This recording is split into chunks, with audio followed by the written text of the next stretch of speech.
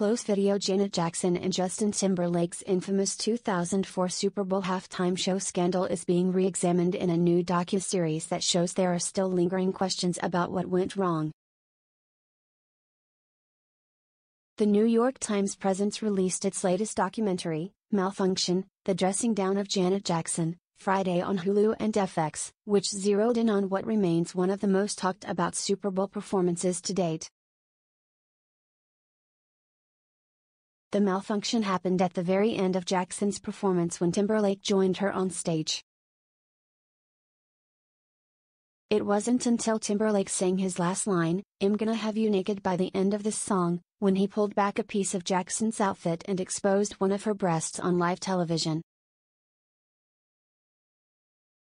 The documentary covered the mistreatment Jackson received after the scandal and how Timberlake walked away from the controversy seemingly unscathed. However, it also floated the idea that Jackson or a member of her staff planned the stunt. Salli Frattini, a senior vice president for MTV who worked on the planning for the halftime show, said in the doc that Jackson never said anything to her team about the mishap after the fact. Instead, Jackson left shortly after the performance. Here we are trying to ask the person that this has happened to because this happened to her, and she was gone, Frattini said. Then we sought out Justin. We pulled him aside one to one. He was like, that was never meant to happen. I was told you guys knew. He was very apologetic. He manned up. Another person interviewed for the docu-series claimed Jackson looked distraught immediately after the performance. The film also touched on previous reports that Jackson's stylist may have went shopping at the last minute to change her wardrobe for the performance before the big day. What's been reported is that after the rehearsal for the halftime show the next day, he went out shopping on his own and reporting shows he spent a lot of time at a local tailor, and we don't know what it was that was being worked on there but clearly some of the wardrobe was being adjusted, one contributor said. According to Frattini, Timberlake met with Jackson and her stylist prior to the two going on stage. I remember speaking with him, Are you all set? Do you have any questions? There was a quest for him to speak to Janet, her stylist. We as the producers, we weren't in the room. Nobody was in the room.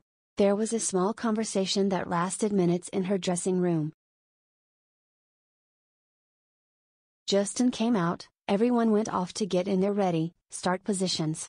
The film did not end with any true answers from those at the center of the controversy, including Jackson, Timberlake and former CBS chairman and CEO Ray Moonves. Jackson's stylist also did not participate. After the controversy, Jackson released multiple apologetic statements about the scandal. The decision to have a costume reveal at the end of my halftime show performance was made after final rehearsals. MTV was completely unaware of it. It was not my intention that it go as far as it did.